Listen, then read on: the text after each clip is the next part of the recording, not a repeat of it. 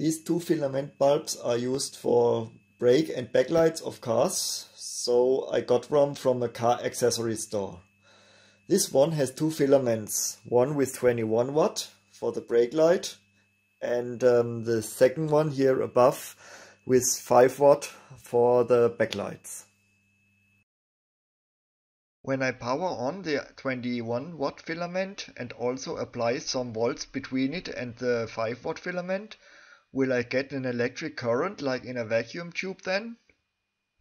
I use the 21 watt filament as cathode because it has a thicker wire than the 5 watt filament and can so emit more electrons. For this crazy experiment I need some high voltage.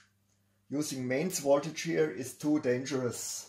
So I got two transformers here. The fat one gives me 9 volt, which I feed into the low voltage winding of that smaller one here. Um, and as a result,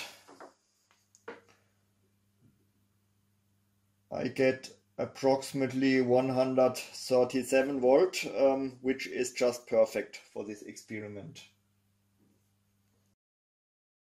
Now I connect one pin of the transformer to the 21 watt filament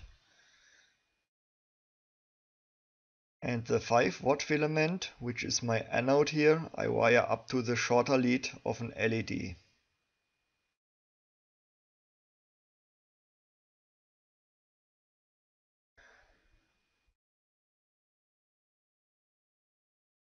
The longer lead I join to the second high voltage pin of my transformer.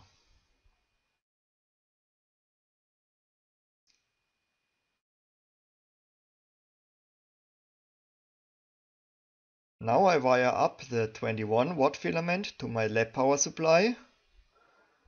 This one will be the cathode. The other one will be the anode.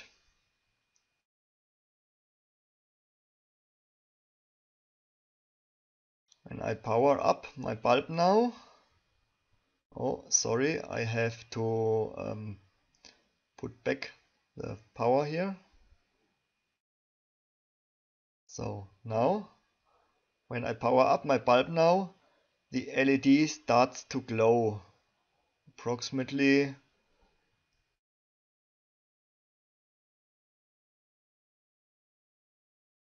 here at 8 volt. So, and the more I heat it up, the more the electrons are being emitted and the brighter glows the LED. So the blinking is an effect of the camera, you won't see it with your bare eyes. So this is the proof that a two filament bulb can be misused as a vacuum tube. That's all for now. Hope you enjoyed it. If you want to be up to date with my videos, just subscribe to my YouTube channel. See you soon.